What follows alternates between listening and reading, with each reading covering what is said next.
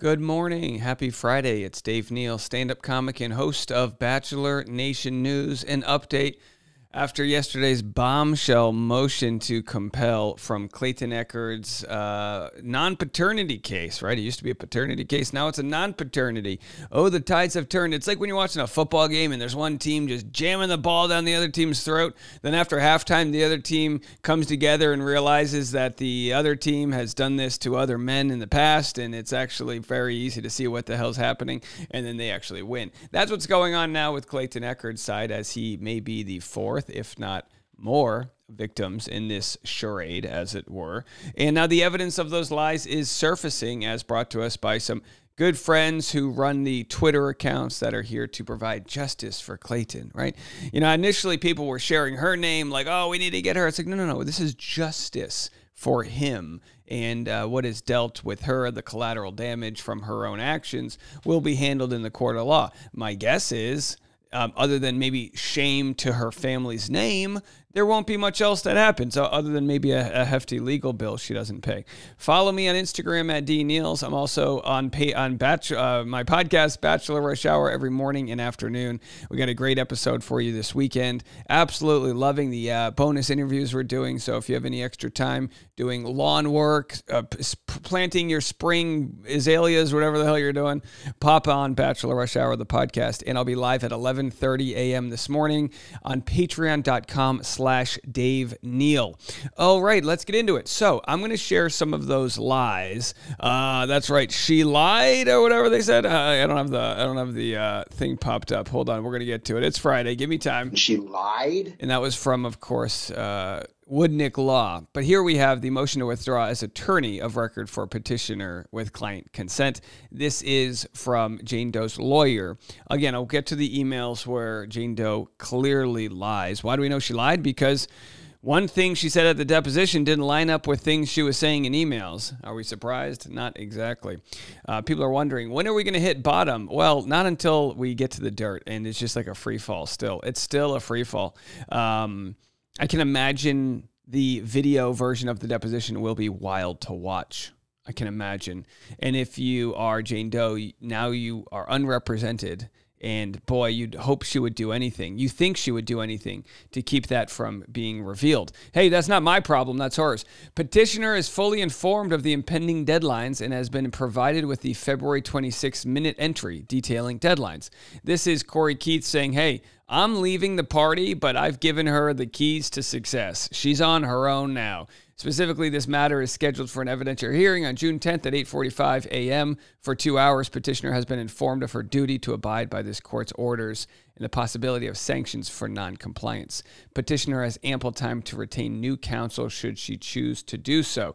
There it is, signed by the Desert Legal Group. That's Corey Keith and his new law firm. And of course, got consent from her. Doesn't want any funny business. We're waiting to see what the what the judge says because the judge can deny his motion to withdraw. Uh, but uh, my guess is the judge won't deny it. There is plenty of time in the case as it has been extended. Um, will Jane Doe get a lawyer or will she use this time to, you know, I don't know, uh, you know, play the victim. No lawyer wants to represent me. My guess is she'll get a no lawyer wants to represent me. Why would she want to pay for a new lawyer who clearly, if she can get a lawyer, is going to want money up front, a retainer, because they, you know, no one's going to trust that a bill is going to be paid after this. So either way, here it is. Uh, now we see pro per. See in the attorney, it says pro per. That means she's on her own. And by the way, I don't want that. I mean, it's interesting that the attorney left. It makes her look bad, but I don't want her to go up against a lawyer. I want a, I want to see the law work itself out with the best professional legal team she can put together. Because that way, when she loses, we'll say, well, clearly she lost. I mean, she had all these great lawyers and it didn't work out. But now she can lose and say, oh my gosh, adios mios, who am I? I couldn't compete against the big bad Mr. Woody. So anyhow, that's where that is. And of course, the comments are, you know, kind of, uh, I would say, reflecting similar thoughts here. I said little to no attorney present. Uh, everything is still ongoing. The the the search for attorneys is ongoing. There isn't no attorney. There's just little to no attorney present. So anyway, here's the emails put together by Clayton's Justice on Twitter, aka X. Given the bombshell that there was a previous paternity case in 2014, let's flash back to these emails from Laura to Clayton from September 2024. Okay, so this is the moment uh, where she flat out lies to Clayton. Before I share that, let's just go to the moment here where she discusses um, a new victim. There is a fourth man who has accused petitioner of fabricating a pregnancy, which supports Clayton's contention that faking pregnancies is either pathological or the oddest of pastimes. Petitioner initiated a paternity action out of California in 2014 regarding what is believed to be her first out of five feigned pregnancies. Um, let's do the math. The first one is 2014. Then we have Mike, Greg, Clayton. Who the hell is the fifth feigned pregnancy? Unless one of these guys, she faked a pregnancy twice. Petitioner was asked to comply with her disclosure of the same. Um, so anyway, that's exhibit four. So let's see if we can go all the way to exhibit four and see what the heck they're talking about here. The fifth guy. So she claims there was no guy. She was like, Clayton, you're the third guy. There is no guy before that. You'll find nothing else before that. Um, she claims she had an appointment with a telemed provider. She lied when she said there was no other litigation she was involved in.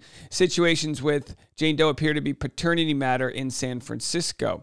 Those files are not public but can be accessed by the parties. Her California attorney did not respond to my email, and neither did you, of course, because um, you know, Corey was on his way out. He had his golf gloves on, his golf gloves on, and he was like, um, I think I'm just going to not respond. I think I'm not going to build this anymore. I am happy to ask her to cooperate with the release of records. I trust Jane Doe realizes he will confirm yet another pregnancy con from 2014 that was eerily similar to victim number four. At least we believe him to be the fourth, Clayton.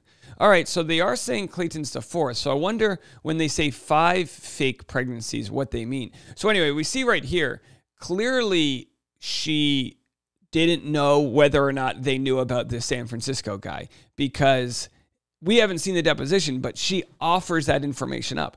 They ask like, "Hey, is there any previous information we should know about?" She goes, "Oh yeah, I was I was pregnant in 2014." And they're like, "Wait, what? Huh? Are you serious?" "Yeah, yeah, I was pregnant. Yeah, no big deal. Yeah." He denied that I was actually pregnant, but I was. Yeah, yeah. And so anyway, how bold she is. Now, this is obviously from the deposition which we haven't seen. This is just Woodnick's uh, recollection of what happened. Uh, in court, you would assume that this will be backed up by the facts because why would they mischaracterize something if then we can be play it in court? Because the deposition can go both ways. It could go, you know, his side can play it and her side can play it if it proves that they're wrong. So we can assume through this motion to compel that you know Woodnick Law is not jerking our chain, as it were.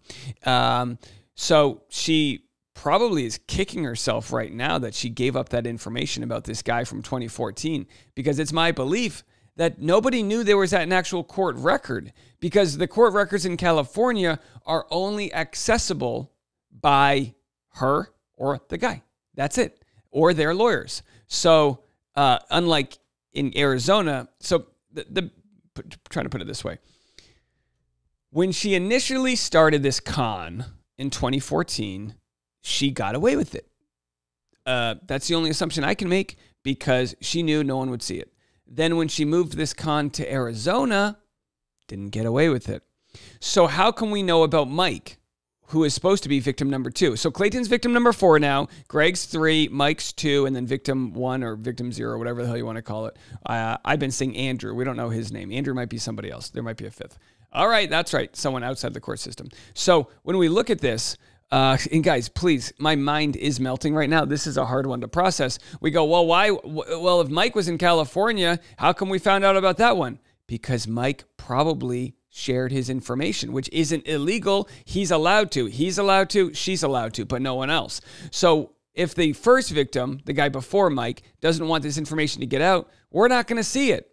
Here's what she said Clayton, Again, September 25th, 2023. This is when Clayton finds out about Greg Gillespie and he's starting to put the pieces together. She said, Clayton, Clayton, Clayton. I was just able to obtain the circulating documents. Of course, that being the witness statements from the other men. And wow, if you believe that is the story, two pages from two cases, then you are not as smart as I thought you were. I sent you proof of both pregnancies, which you can see at this Dropbox link. I didn't do this to anyone. I was pregnant twice before. I am 33, and it is proven that I truly was! Exclamation mark. I have never had a paternity case before you in Arizona. So maybe she was just omitting the fact that she had one in California. But um, once a liar, always a liar, right? What's the old term? Uh, uh, una uh, Latin term. Once a liar, always a liar. Okay, you understand the quote. Uh, falsus in uno, falsus in omnibus. All right, again, I'm not a lawyer. I am a member of the Professional Society of Journalists. I'm looking for my notepad over there. I threw it out. Um, but either way, you learn a lot here.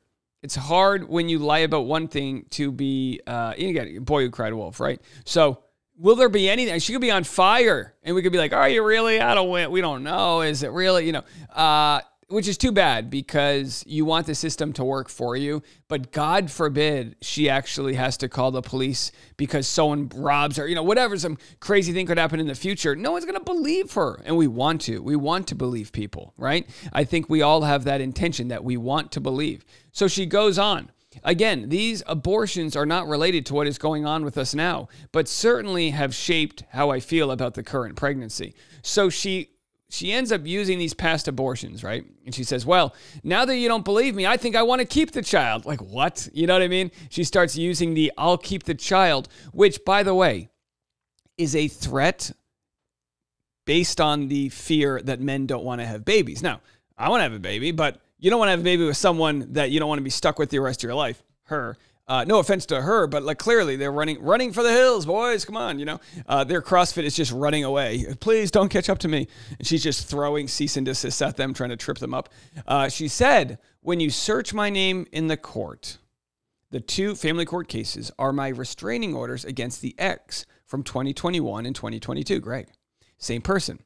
The other civil case I have is when I sued my contractor for shoddy work on the barn and I won. That's when she sh- sued Sean, the Native American who did a lot of work for her. And she ended up using some of the, I don't know, my, my guess is he tried his best. She hired a guy who had a new company. And I wonder why she ended up going with the, the contractor who had a new company, probably because she knew she could sink him with one bad Yelp review. I also had a case in San Francisco, she says, that I filed from when I was the passenger in an Uber. The driver was texting and we got into a bad crash in a tunnel. That is all you will find on me. Of course, the Uber case was. Um, I guess I guess I've been told I don't know I don't know if this is true but I've been told she gets free Uber for life Pretty nice. Not bad. Former Uber driver here. Uh, wouldn't want to be uh, driving her. She sued the Uber driver, she sued the driver from the other car, and she sued Uber itself. Yikes. Uh, a Karen in the making. Uh, um, and what else? Oh, so she says, that is all you will find on me. Well, cut to March 1st, the deposition. Turns out we found a lot more on her, but not because of our own digging but because maybe she's not as smart as we thought she was. You see, I'm doing a play on words here, remember? She said, "Oh, Clayton, you're not as smart as I thought you were." Now, look, we think we think Jane Doe is smart. I mean, you know, intelligence can be measured in so many different ways. Um, would I rather be attached to a smart person like her, or maybe a guy like Sean, the contractor, who is trying his best. I think I'll attach myself to a guy like Sean, a guy like Clayton, guys that are, you know, uh, you know, putting this shit stain of a story behind them, uh, you know, after they finish this lawsuit here. Um, but of course, I mean, you know, for those that are new to the case and haven't seen this from beforehand, we'll just share this one more time. I mean, this is the ultrasound she claims was hers. And then on the right, this is the ultrasound that she made from the one on the left, where she added the SMIL, the Southwest Medical Imaging. She added the uh, timestamp, September 5th, which, by the way, I mean, this is what gets interesting. The timestamp says September 5th, 2023, right? So she claims she lost the babies either in September or October. It's got the, um, you'll see right here, it's got the time code, which doesn't move. As I hit play, watch this. The time code doesn't move, which it should be. The time code should be moving. She added all of this stuff up on the left uh, because it wasn't uh, part of the original file. And then as you see them, kind of lined up. You are. Oh, turn this audio off here. As you see them lined up here, I, I added the Maury Povich. That wasn't from her. I added that part. You see that it's you know identical. So, you know, she apparently uses this ultrasound, sends it to. And again, this might be a different. She might have multiple fake ultrasounds for all I know, but she sends the ultrasound to, um, I guess, a, a medical provider who then says she's got a boy and a girl, which is like, how the hell could you tell from ultrasounds like this? Again, no evidence of that. Uh, that's just like that's hearsay from her. So, yeah, there's your evidence of lies. Others have asked, as we continue the conversation, what's going to go down with mom? What's going to go down with sister? As she now claims in the deposition, she sent the photographic evidence, which again would be very important. Her case is contingent on sewing on somebody having the records of the evidence of the photos she took because if she has actual photographic proof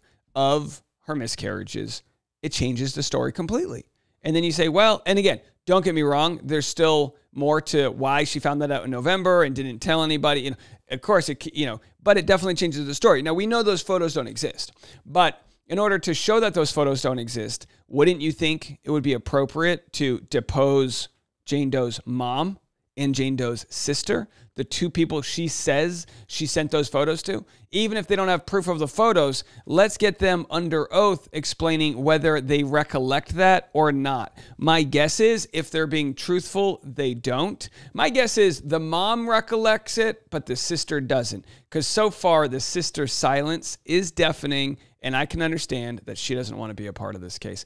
We'll be live at 11:30 a.m. Central Standard Time on Patreon if you want to talk more. Patreon.com slash Dave Neal. We'll see you then.